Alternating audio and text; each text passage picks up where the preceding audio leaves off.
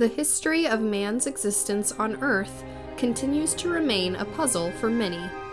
While several tales about how we came to be here have existed along religious and cultural lines for several millennia, it was not until science began probing into the matter that humanity truly began to seek empirical proof for their existence.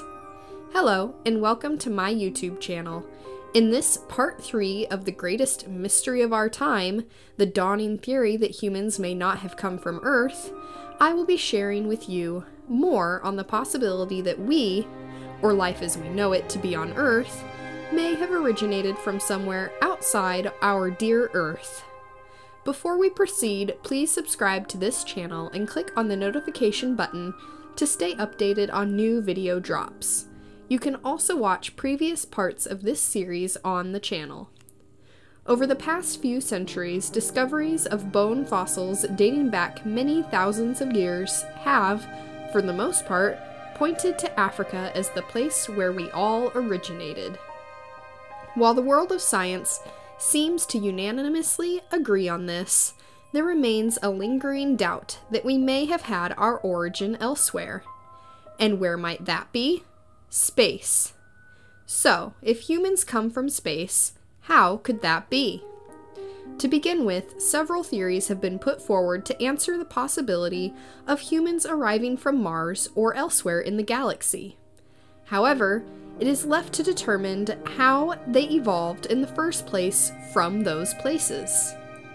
To provide an insight into that, let us consider the two most important molecules in human life DNA and RNA.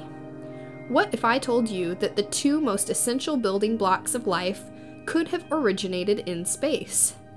What if the grand design began somewhere distant from our world? That's right, scientists have been intrigued by the notion that the building blocks of life evolved from space since the discovery of organic molecules in the Murchison meteorite that crashed into Australia in 1969. New studies are giving insight into how these molecules may have developed and arrived on Earth. To help us better understand, let us consider the information below. To start with, DNA, deoxyribonucleic acid, and RNA, ribonucleic acid, are two main types of nucleic acids made from nucleotides. They are two of the most significant molecules in cell biology. DNA and RNA are in charge of storing and decoding the genetic data that underlies all life. While DNA encodes the cell's operations, RNA translates that code into proteins that perform cellular functions. Without them, the body would not function as we know it. But what do these have to do with space? Well, a NASA astrophysicist and planetary scientist at the University of Chicago, on one hand, and an astronomer from the Baltimore Space Telescope Science Institute, and a NASA Sagan Fellow from the University of Colorado, on the other, seem to have the answers that we need.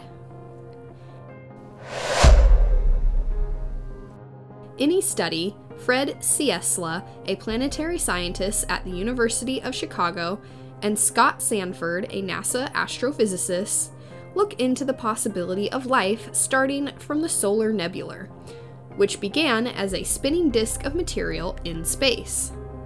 Both posit that our solar system had already begun the process of producing life long before Earth existed.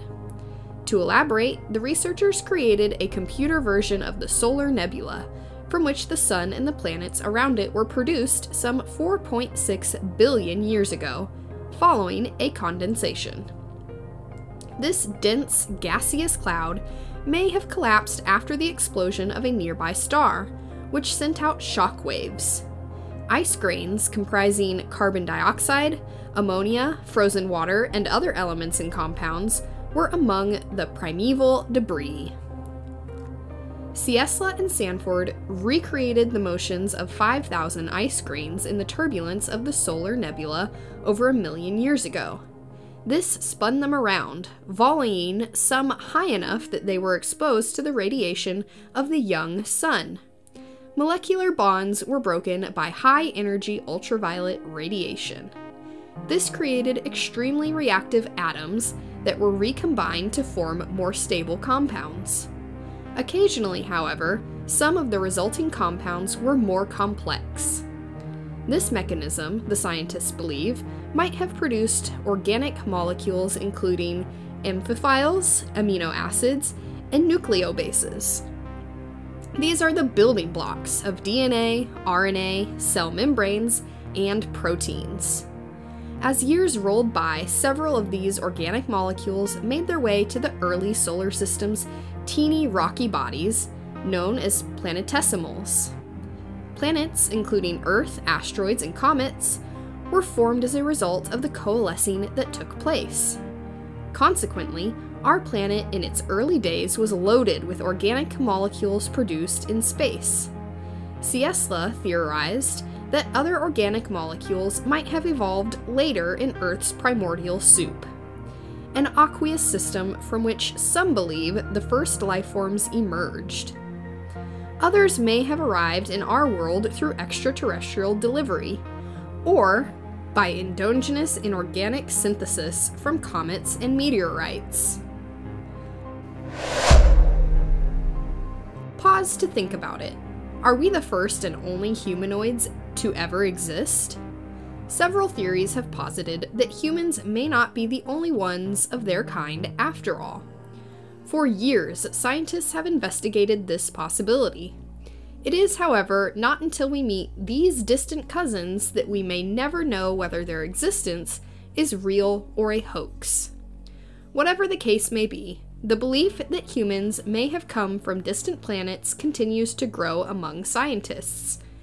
According to experts, there seems to be a lost or hidden planet in the asteroid belt between Mars and Jupiter. This raises questions like Is the asteroid belt the result of a planet bursting and an ancient civilization fleeing to Earth? Could we be descended from an extraterrestrial race that once inhabited another world? Could any of those extraterrestrials still be among us, unnoticed or hidden? Dr. Ellis Silver is among the foremost scientists who support this theory. In his book, Humans Are Not From Earth A Scientific Evaluation of the Evidence, the ecologist and environmentalist theorize that humans may have been a product of an experiment and put here by aliens many thousands of years ago. The author suggests that man's homeworld might be somewhere in Alpha Centauri, a system of stars and planets closest to our solar system. Silver believes that a devastating tragedy may have occurred in this system. This may have led a few survivors to flee and reach Earth. The notion that humans aren't from this planet is not peculiar to science alone.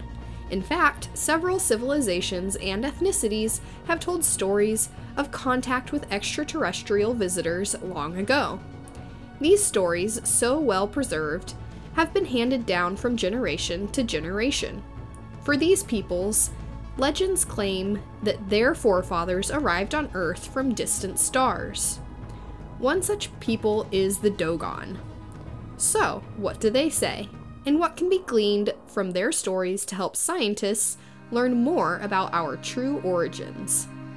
The Dogon people are a West African ethnic group indigenous to Mali's Central Plateau region. Among these people is a belief that the star Sirius is where their progenitors originated from before coming to Earth.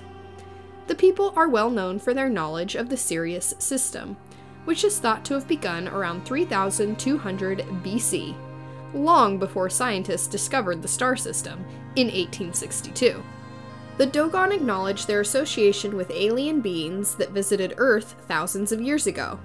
They say that hideous amphibious aliens from the Sirius system, called the Nommos, landed on Earth in the appearance of mermen and mermaids in an arc shaped structure. These Nommos, they say, first inhabited a planet in the Sirius system, which is believed to have circled other stars in the system. It is further stated by the people that the Nommos taught them about their home system and our solar system. According to researchers Marcel Griaule and Germain Dieterlen, who worked with the group from around 1937, the people held several pieces of astronomical information that could not be obtained from naked eye observation. So strong was their knowledge of space that the Dogon knew that all planets orbit the Sun. They could tell how many moons orbit the planet Jupiter, including knowledge of the planet's four large moons and the number of Saturn's rings. Another piece of information is that the Dogon knew about the shape of Sirius B, the much dimmer companion of the brighter Sirius A. The group believes that Sirius B elliptically orbits its brighter companion for a period of 50 years. The researchers also wrote that the importance attached to the distant star is at the center of many cultural practices and activities of the people. If true, the Dogon story could hold great promise to help researchers find out if humans are truly from somewhere in space. If you've watched this video till this point, then I do not doubt that you've enjoyed the fascinating knowledge I've shared with you. But hey, there's more to come. In part 4 of this series, I will share with you what another ethnic group in South America has to say about how humans came to Earth. That won't be all, as there's more to come. If you loved the video, please like, share, and join the conversation by dropping your thoughts in the comments section. Also, subscribe to this channel by clicking the red subscription button. And don't forget to turn on your notifications for more amazing videos like this one.